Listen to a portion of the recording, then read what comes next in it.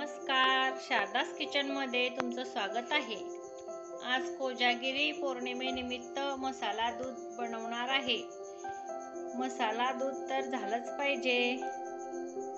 चला तर मग आपण रेसिपीकडे वळूया. साठी मी साहित्य घेतलं आहे. काजू बदाम चारोळ्या वेलची पूड आणि जायफळ पूड आणि केसर. मसाले दुधासाठी मी दूध घेतलं आहे दोन लिटर बघा मी आता कढईमध्ये दूध तापायला ठेवलं आहे.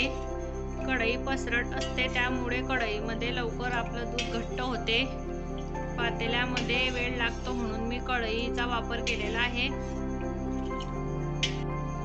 मी वाटीमध्ये दूध घेतलं आहे गरम त्यामध्ये केशर टाकून घेतली आहे. छान असा कलर येतो. म्हणून अशी टाकून घ्यायची दुधामध्ये.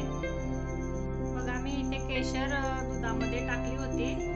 ते आपण आपल्या दुधात टाकून घेऊया. आणि अशा प्रकारे आपलं दूध घट्ट होते. दुधामध्ये पळीचा चमचा किंवा वाटी टाकायची त्यामुळे दूध वर येत नाही.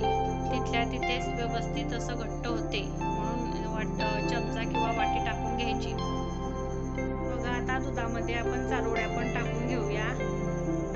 दुधामध्ये चारोळ्या टाकल्याने छान अशा फुलतील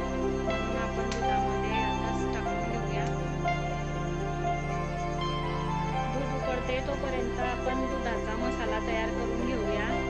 मी मिक्सरच्या साह्याने मसाला तयार करून घेते. काजू बदाम चारोळी वेलची याच्यामध्येच टाकून घेते. छान मिक्स होते म्हणून मी वेलची टाकून घेतली आहे.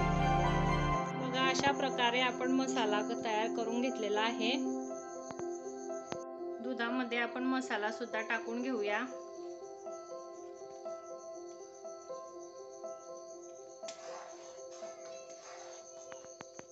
आणि थोडा वेळासाठी छान अशी उकळी येऊ देऊ. आपलं मसाला दूध छान असं घट्ट होत आहे.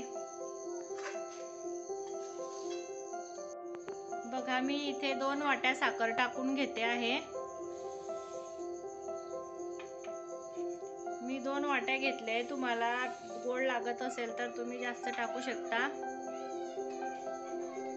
बघा आपलं मसाला दूध तयार आहे. बघू शकता किती घट्ट झालेला आहे. मसाला दूध तयार आहे पिण्यासाठी. तुम्ही पण असं मसाला दूध करून बघा. तुम्हाला जर मसाले दुधाची रेसिपी आवडली असेल तर लाईक करा शेअर करा सबस्क्राईब करा आणि बेल आयकनला क्लिक करा. भेटूया पुढच्या व्हिडिओमध्ये धन्यवाद.